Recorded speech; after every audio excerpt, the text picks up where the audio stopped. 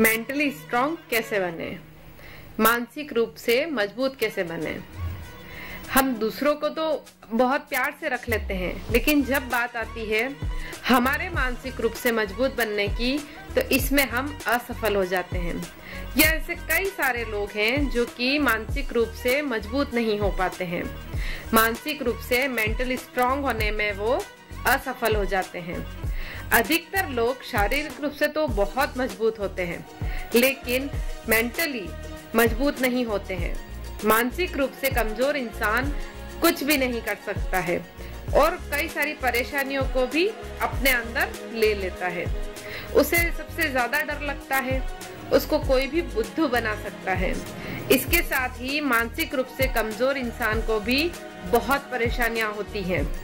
अगर आप भी मानसिक रूप से कमज़ोर हैं और मैंने जो बताया, उसमें से आपको कुछ भी होता है तो इसको दूर करने के केवल तीन टिप्स हैं।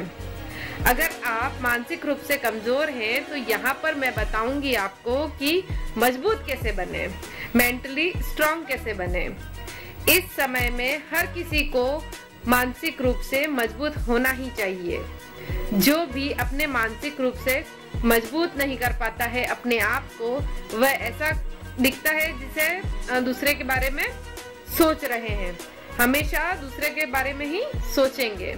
दूसरे शब्दों में इन्हें कहूँ तो मानसिक रूप से जो मज़बूत इंसान होते हैं, वे बहुत सफल हो सकते हैं। लेकिन बहुत से लोग मेंटली मज़बूत नहीं होते हैं। मैं आपको बता दूँ कि कोई भी मानसिक रूप से मज़बूत बन सकता है। बस उसे कुछ समय खुद को देना होगा। मानसिक रूप से मज़बूत होने के लिए सबसे पहले आप अपने दिमाग को समझें। आप अपने दिमाग के काम करने के तरीके को समझें। आपका दिमाग कब और क्या करने पर खुशी देता है, खुशी महसूस करता है और कब आपका दिमाग पूरी तरीके से बोर हो जाता है। आप दिमाग के काम को करने की जानकारी का पता लगाएँ और उसको अलग रूप से बढ़ाएँ। उसके बाद उसमें समय समय पर बदलाव करते रहें। जैसे अगर आपको गाने सुनते समय मज़ा आता है, पर आपको पढ़ते समय मज़ा नहीं आता है तो आप पढ़ाई को गाने की तरह करें। मेरे एक सर थे, जो कि हर श्लोक को गा गा कर सुनाते थे। तो संस्कृत के जितने भी श्लोक होते थे, हमें मुँह पर याद हो जाते थे, क्योंकि वो उसको गाकर सुनाते थे और हम उसे गाना गाकर ही याद करते थे। जब हमारा दिमाग कल्पना सही कर रहा होता है तो हमारा दिमाग हमें खुशी देता है। इसी तरह आप भी पढ़ाई में भी कल्पना करें कि आगे क्या कर सकते हैं। सबसे पहले तो आप अपनी फीलिंग को कंट्रोल कीजिए। मेंटली स्ट्रांग होने के लिए आप अपनी फीलिंग को कंट्रोल करें।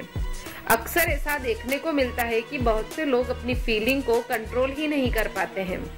थोड़ी सी बात में खुश हो जाते हैं थोड़ी सी बात में नाराज़ या गुस्सा हो जाते हैं। ऐसा होना मेंटली स्ट्रांग ना होने की ही पहचान है। आप अपनी फीलिंग को कंट्रोल में रखें। आप अपने फीलिंग के अनुसार न रहें, बल्कि आपकी फीलिंग आपके अनुसार होनी चाहिए। जैसे हम ज़्यादा मोबाइल चलाना तो नहीं चाहते, लेकिन पूरा दिन स्क्रॉल करते रहते हैं। क्योंकि हमारी फीलिंग हमसे ज़्यादा मोबाइल यूज़ करवाती है। अपनी सोच को कंट्रोल कीजिए। फीलिंग के साथ ही अपनी सोच को अपने कंट्रोल में करना बहुत ज़रूरी होता है। जो इंसान अपनी सोच को अपने कंट्रोल में नहीं कर पाता है, वह इंसान मेंटली मज़बूत नहीं बन पाता है। मेंटली मज़बूत इंसान अपनी सोच को अपने कंट्रोल में रखता है जैसे जब आप कोई काम करते हैं तो आपके काम करते समय आपके दिमाग में अलग अलग तरह के विचार आते हैं। तो आपको उसे कंट्रोल और खत्म करना आना चाहिए। तभी आप मानसिक रूप से मज़बूत बन सकते हैं। नई चीज़ों को करें। नई चीज़ें और नया काम आपको चैलेंज करता है और आपको मेंटली स्ट्रांग बनाता है। एक रिसर्च के अनुसार नया काम करने से हम दिमागी रूप से काफ़ी मज़बूत होते हैं। अगर आपको मानसिक रूप से मज़बूत होना है तो आप कुछ भी नया चीज़ करते रहिए। कुछ नया सीखते रहिए। कुछ ना कुछ नया होने दीजिए।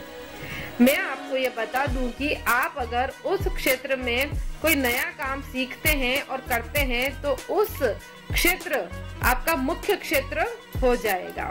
तो आपकी सफलता उसमें बढ़ जाएगी। और कोई भी नया काम अगर आप करेंगे तो आप क्या करेंगे? उसके लिए सोचेंगे अलग अलग तरह से सोचेंगे, अपने दिमाग में नए नए विचार लाएँगे। उससे क्या होगा कि आपके विचारों को आप कंट्रोल करेंगे कि कौन सा विचार आपको रखना है, कौन सा विचार आपको नहीं रखना है। इस तरीके से केवल और केवल इन तीन तरीकों को अपनाकर आप मेंटली स्ट्रांग बन सकते हैं। इन तीनों पॉइंट्स पर ध्यान दीजिए और समझने की कोशिश कीजिए कि किस प्रकार हम हमारे विचारों को कंट्रोल कर सकते हैं, किस प्रकार हम हमारी फीलिंग्स को कंट्रोल कर सकते हैं और कैसे हम आगे बढ़ सकते हैं। खुश रहिए, खुशियाँ बांटिए।